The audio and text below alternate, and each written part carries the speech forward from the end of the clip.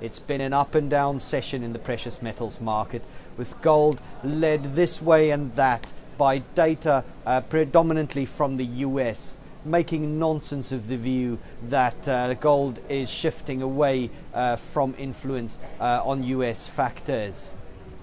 First, uh, the metal started about $1,312 per ounce, but slowly drifted uh, lower uh, during the session to about $1,304 per ounce before rallying higher when US CPI came in uh, below expectations.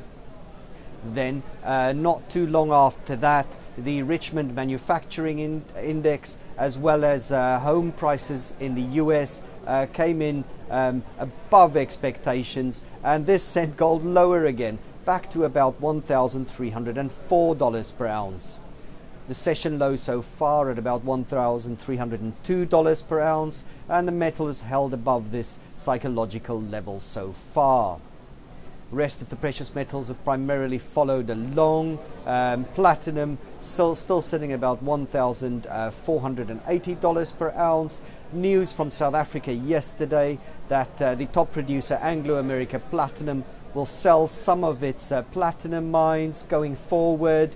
Um, there was, of course, a lot of strike action, uh, and some of these deep pit mines uh, are very labor intensive, and this is something that Anglo American Platinum would want to move away from. Later in the week, the um, precious metals complex is looking forward to Chinese import data of gold from Hong Kong. This will be very closely watched. China, of course, the biggest consumer of the precious metal at the moment. This is Eddie van der Walt signing off from the floor of the LME for the Bullion Desk.